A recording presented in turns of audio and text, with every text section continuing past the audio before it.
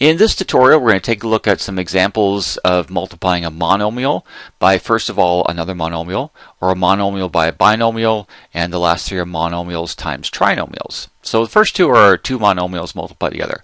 So 4x and 6x, they're both monomials. Monomials means there's one term, like 4x is one term, 6x is another monomial term.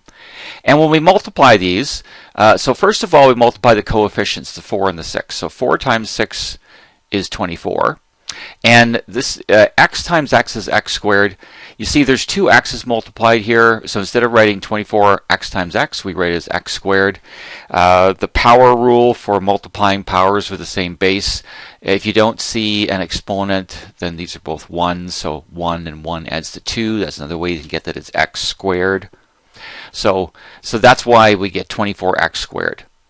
Uh, similar in number 2 here, uh, we're going to multiply the coefficients together. So negative 5 times the 7 is negative 35.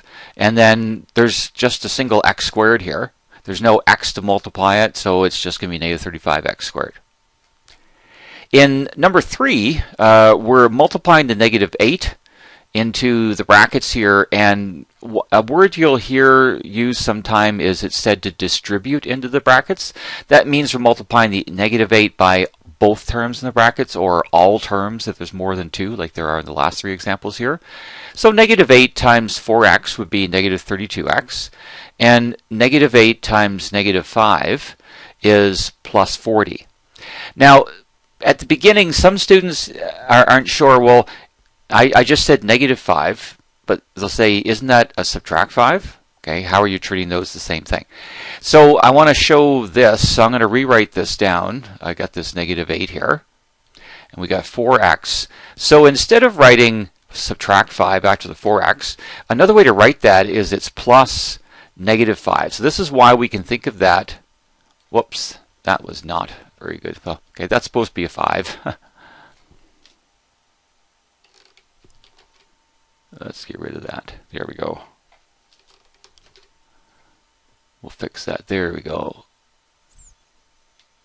That's better 5. So, negative 8 times the 4x, uh, again, gives us the negative 32x. I'm not really talking about this part so much. But you see, instead of writing subtract 5, we can write as plus negative 5. So when I multiply the negative 8 by the negative 5, that is a positive 40. Now, this is a plus here, so this is a positive 40. And we, we don't need to write plus a positive 40 because adding a positive is same as just adding that 40. So we don't need the second plus sign. So we can just write as negative 32x plus 40. So that's how you can treat that subtract 5 as a negative 5. It's really just negative 8 times negative 5 is 40. Okay, next one in uh, number four. Uh, we're going to distribute the 5q into the brackets. So 5q times 3q is 15, and q squared, again, a q times a q is a q squared. And 5q times 2, 5 times 2 is 10, and there's a single q in that product, so it's just 10q. For question number uh, 5, up here at the top, the 3x will distribute into the brackets. So 3 times 2 is 6, and x times x squared is x cubed. See, there's actually an exponent of 1 there, so 1 and 2 add to 3. So, and, and again, like I said before, this is actually two x's multiplied together. That's what x squared means. When I say two x's, I'm not talking about that 2.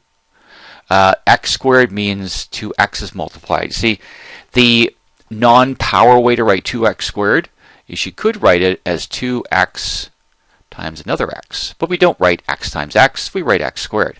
So when we multiply this, see that's why there's an x here, and there's two more here, so that's why there's three of them altogether. So it's x cubed multiplied. And then 3x times negative 7x is minus 21x squared on the end afterwards.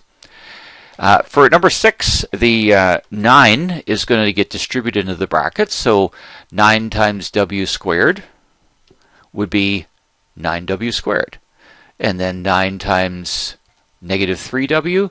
9 times negative 3 is negative 27, so it'll be negative 27w. And 9 times 5 on the end is 45, so plus 45.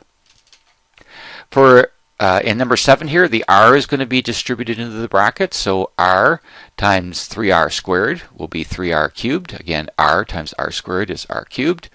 Uh, r times the negative 6r will be minus 6r squared. Again, there's an r here and another r here, so that's why this is r squared, two r's multiplied. And r times the 2 is 2 plus 2r. Uh, for number 8 on the end here, uh, 2x times x squared is 2x cubed. And then we distribute in here and multiply the 2x by the negative 10x in the middle. So that would be minus 20x squared. And lastly, 2x times the 3 is plus 6x. 2 times 3 is 6. And there's a single x in that product, so that's why it's 6x on the very end. And that's the end of the tutorial.